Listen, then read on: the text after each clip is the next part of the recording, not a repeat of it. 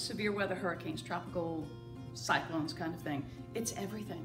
It really is. Hey, this is Doug with Mathnasium of Tallahassee and another edition of our Number Sense video series. We're joined today by meteorologist Nancy Dignon.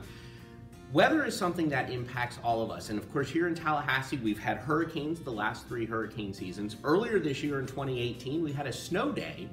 And of course, every day it's just a matter of what should we wear when we get up and head outside. All of those forecasts, whether it's for severe weather or your daily forecast, are all put together and influenced by math. And Nancy shares the impact that math has not only on meteorology, but science as a whole. And she also shares some advice for those students who are interested in pursuing the sciences and how to best tackle their math studies. Meteorology is nothing more than the application of math. That's what it is. You take all of the, the math, the calculus, the differential equations that you've learned, and you apply it. And that's really what you're doing. It could be as basic as the latitude and longitude coordinates, which are numbers. Um, it could be a little more sophisticated, robust, as in the computer models that have the dynamics at all these different heights in the atmosphere. It's the crux of everything in meteorology for us, and it's so important that you understand it. It can't just be looking at it and trying to figure it out. You have to really comprehend the whole concept.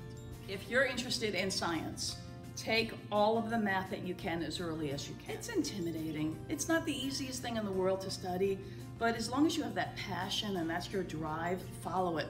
Just keep going for it. There, there's nothing that should stop anybody in this day and age. I think it's really important that in the classroom or wherever you can get that information, you seek out that information because you've got to learn the skills. You can't just kind of go into it on your own and think that all of a sudden it's going to come to you. Most of the time, all you need is a little bit of a push um, and maybe a little bit more time in some of the more difficult classes, but don't give up on it.